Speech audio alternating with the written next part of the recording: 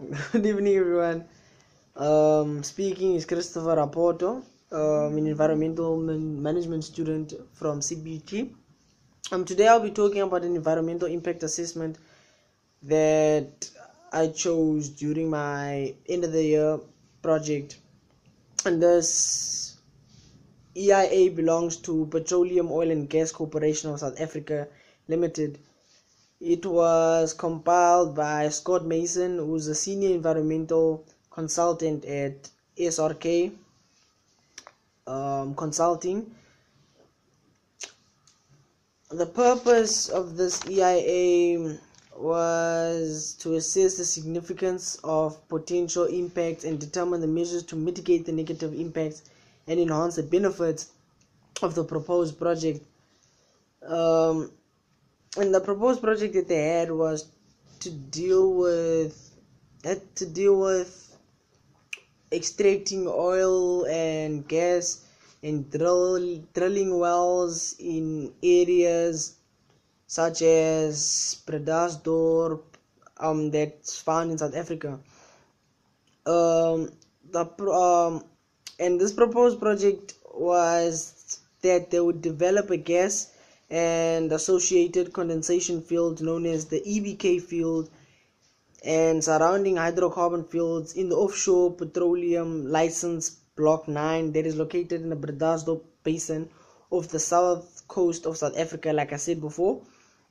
And the main objective was to inform stakeholders about the proposed project and the EIA processes that followed and to assess the detail and assess the detail envir- potential environmental and socio-economic impacts of this project based on what impacts it has on the environment and what they can do to actually mitigate the impacts that the project has on the, on the environment and people at large.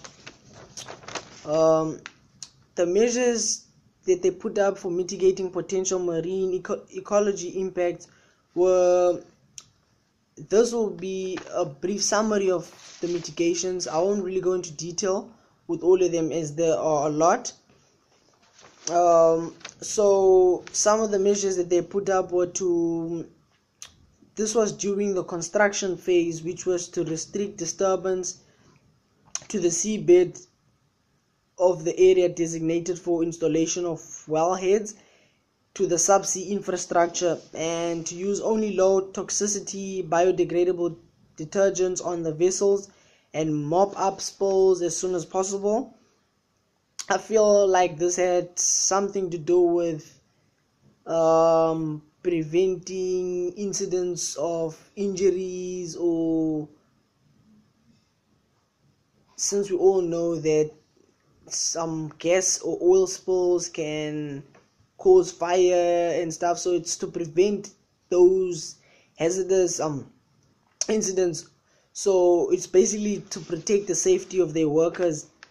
And then measures put up during the operation phase were to minimize non-essential light lighting on vessels. Like i mentioned before um um the oil coming into contact with fire um with light and leading to explosions and so on and to keep a record of all sightings made which can assist the research planning and additional avoidance strategies. And measures put up during the decommissioning phase were to ensure compliance with the relevant national and international regulations for discharge in areas. And this has to do with the rules set up by the local government on how much um discharge or yeah how much discharge companies can actually give off to the sea and at what what level or at what concentration this has to be. Because if it's not controlled it will affect the sea sea life and the water that we actually drink in. So this um, measure has to do with that and to also comply with petro sa waste management procedure which also deals with the um, disposal of the oil or the gas given off at sea.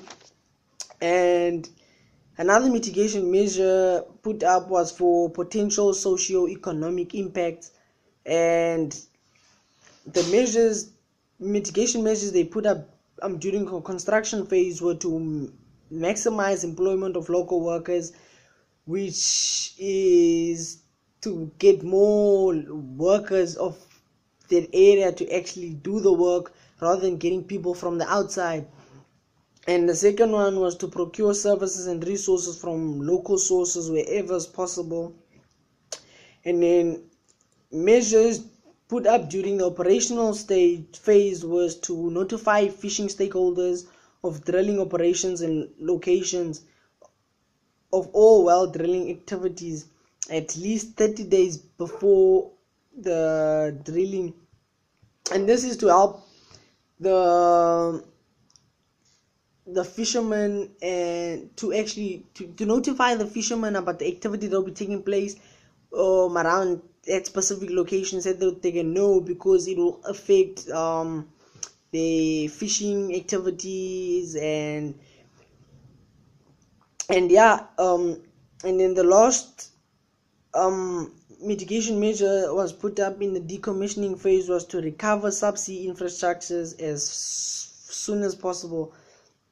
Um, so this EIA basically, to ensure to summarize all that I've said is that this EIA environmental impact assessment deals with um, petroleum, oil and gas of of a corporation that is based in South Africa, and they are uh, oiling company. So this um, report that they've written up was basically to give people a view or Im- a clear image on what the activities are and what impact the activities have on the environment and how and what they will actually do to mitigate these impacts that the activities have on the environment. So by doing so, they drew or wrote up that the report and for us to actually see so, in order for, for people to actually know that they were living up to those standards, you would have to read the EIA and everything that I've actually said and have written down in that EIA to know that I actually meet their own rules or laws that they've set up. So, this would actually help communities or the people at large to actually know if the if this company or organization is living up to their standards. So, with all being said, I would like to thank everyone uh, for this opportunity and wish you can watch or read up more on these EIAs because there are a lot of them and you can find these at public libraries. And yeah hope you enjoy the video. Thank you very much